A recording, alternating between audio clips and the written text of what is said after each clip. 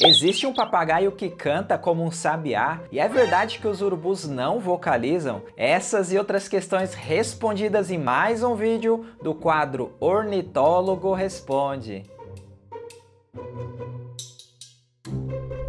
E começo aqui com a pergunta do Pedro Veloso. Não existem mais azulões no Nordeste? E quantas espécies de azulões existem? Azulão selvagem existe sim no Nordeste, ainda existe no Nordeste, pois infelizmente ele está cada vez mais raro. O tráfico e a perda de hábitat são os principais motivos. Sobre as espécies, na família Cardinalidae, existem vários passarinhos azuis que se parecem com o azulão. Se considerarmos azulão as aves pertencentes ao gênero Cyanoloxia, podemos dizer que existem apenas quatro espécies. O azulão, o azulinho, que ocorre só no sul e sudeste e é menorzinho,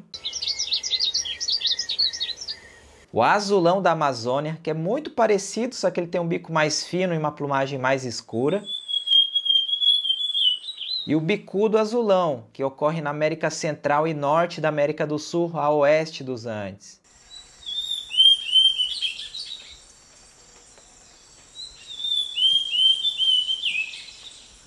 Além das quatro espécies de azulões do gênero Cyanoloxia, existe ainda um que chamamos de azulão mexicano, que é a única espécie do gênero Cyanocompsa, que ocorre na América Central até o México.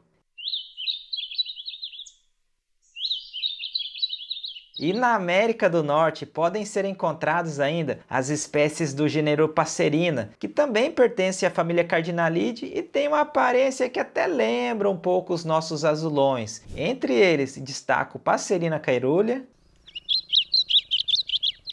e o Passerina versicolor.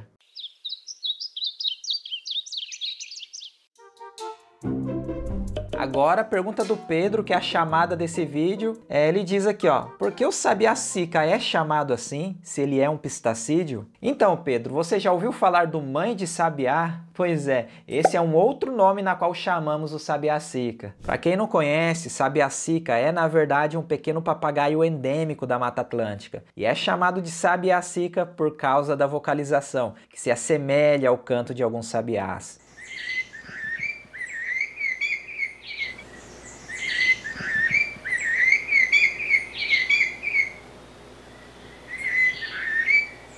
Quem não conhece muito de passarinho pode até achar que são sabiás vocalizando. Ó, oh, realmente parece muito, né? Praticamente um papagaio com canto de sabiá. E foi essa vocalização que inspirou os indígenas a batizarem essa ave. Em tupi, sabiá sica significa mãe de sabiá. Interessante é que, ao contrário da maioria dos pistacídeos, essa espécie raramente vocaliza em voo, preferindo emitir as vocalizações quando está pousado e camuflado na copa das árvores.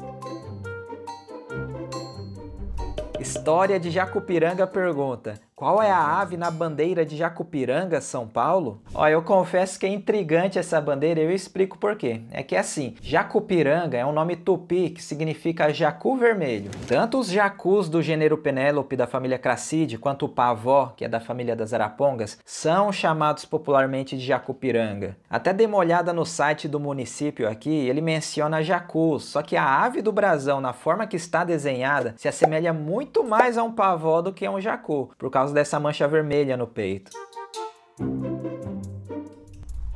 Verônica de Cássia. Olá, William. Minha filha tem 7 anos e adora o seu canal. Pô, que legal. Moramos no sul de Minas e juntas vimos uma ave muito parecida com o tuiuiu. Será mesmo? Pois vimos no seu programa que o hábitat dele é o Pantanal. Então, é possível que você tenha visto sim o tuiuiu. As únicas aves que se parecem com ele é o cabeça seca e o maguari, mas o tuiuiu, apesar de ser muito comum no Pantanal, ele também está presente em quase todo o Brasil, inclusive no sul de Minas. Olhando aqui o mapa do Wikiaves, onde os observadores de aves registraram o tuiuiu, nota-se que tem muitos avistamentos aí no sul de Minas. Karine Batista. Oi Will, tudo bem? Admiro muito seu trabalho, vivo indicando seu canal para todo mundo. Pô, brigadão. Tem uma pergunta. Quando tem uma luz de carro e um bacural, a luz vai e o bacural voa mais à frente, aí a luz do carro vai faroleteando e o bacurau sempre vai voando à frente na estrada. Então, é como que faz para o bacurau parar? Ele fica acompanhando o carro até quando? Pois é, né? Quando a gente está andando de carro durante a noite em estradas de terra, principalmente estradas de terra, e a luz do carro fica iluminando os bacuraus no chão assim da estrada, eles voam, mas logo em seguida pousam um pouquinho mais à frente. Eles insistem em ficar pousando nas estradas. Sabe que é por causa desse comportamento que os bacuraus também são chamados de med-léguas, como se estivessem medindo as distâncias nas estradas. Bom, mas a dica que eu dou é quando estiver na estrada assim e ver um bacural pousado na sua frente, é diminuir a velocidade do carro para não atropelá-lo, né? É óbvio. Às vezes indo um pouco mais para algum dos lados da estrada, até ajuda a ave a desviar e voar para a lateral, pois o farol forte atrapalha ele enxergar fora do feixe de luz. Johnny Cleverson. William, quando o casal de João de Barro está construindo a casinha e se algo acontecer com um deles, o outro continua construindo a casinha ou para até arrumar outro parceiro? Então, se algo acontecer com um dos membros do casal durante a construção do ninho, o comportamento do pássaro sobrevivente pode variar, mas geralmente ele interrompe a construção. Nos cantos que as aves fazem em dueto ao longo do dia, um vai perceber que o outro não está mais ali, aí em pouco tempo vai abandonar a construção para buscar outro parceiro parceiro e quem sabe começar tudo de novo.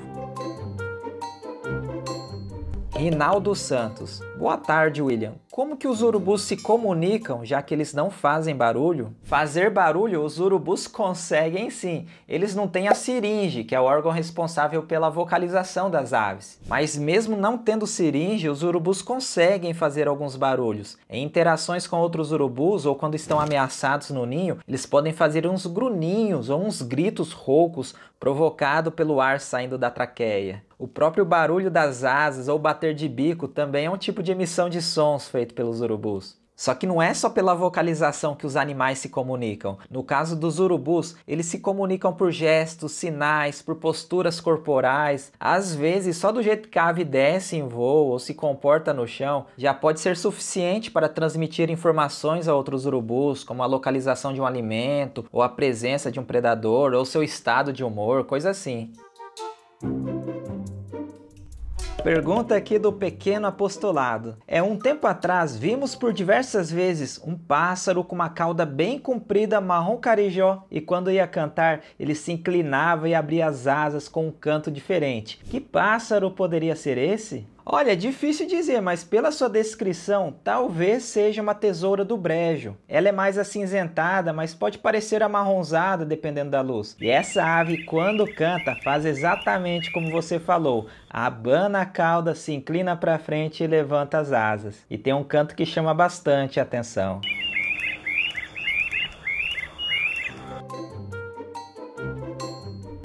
Josenildo da Silva Barbosa. William, já faz dois anos que eu passo na mesma estrada e sempre tem uma coruja em um galho de árvore. Será que é a mesma? A dúvida é que coruja que você está vendo, José Nildo? Assim, dependendo da espécie, é provável que seja o mesmo indivíduo sim. Por exemplo, a suindara, que é uma coruja bem comum no Brasil, ela tem poleiros favoritos nos territórios de caça. Se você estiver vendo uma suindara no mesmo galho de árvore ao longo de dois anos, é muito provável que seja a mesma ave. Coruja buraqueira, que é uma outra espécie muito fácil de se ver por aí, inclusive durante o dia, é uma espécie bem sociável, assim, que tem uma família grande e que vão se revezando nos poleiros de vigia. Aí, se for essa espécie que você esteja vendo, pode ser alguma da mesma família, mas não exatamente a mesma ave.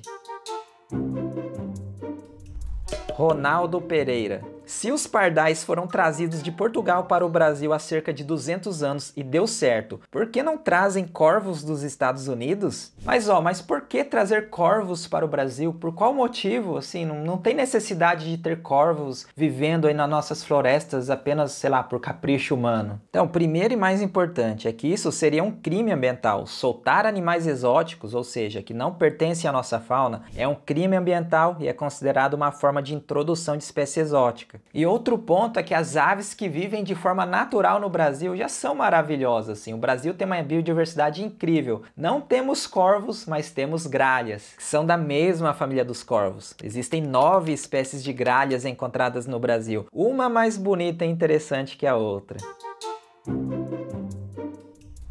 Lucas Bonini. William, eu estive em Joanópolis, região de São Paulo, em uma área bast com bastante mata, e ouvi um canto logo pela manhã que lembrava muito a de uma cuca burra. Mas até onde eu sei, não temos essa ave no Brasil. Qual ave poderia ser? Pode ser que você tenha escutado uma galinha d'água, que também é chamada de frango d'água, que é uma espécie bem comum nos rios de todo o Brasil e que tem uma vocalização que lembra muito a de uma cuca burra.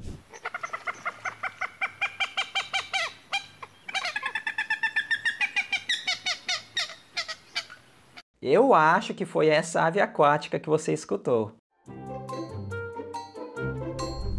Vivi Imperial. Quantas ararinhas azuis já estão na natureza, já que você disse que algumas foram libertadas do cativeiro? Então, a última notícia que eu li é que das últimas solturas, das duas solturas que ocorreram aí ao longo dos últimos anos, é, teve algumas ararinhas que morreram por causas naturais, outras desapareceram, mas existem ainda 11 ararinhas azuis vivendo livres na natureza, no sertão da Caatinga Baiana, e elas estão sendo monitoradas. E o incrível é que isso inclui dois filhotes nascidos na natureza, de um ninho artificial colocado no alto de uma caraibeira. Espero que você tenha aprendido um pouco mais do planeta das aves. Se você tem alguma pergunta para o próximo vídeo desse quadro, poste a sua pergunta nos comentários aqui embaixo, usando a hashtag Ornitólogo Responde. E se você gosta de aves e natureza, não está inscrito nesse canal, por favor, por favor mesmo, se inscreva, pois esse é um canal especializado no assunto com vídeos toda semana, tá bom? Então é isso, gente. Agradeço aqui a audiência de sempre e até o próximo vídeo.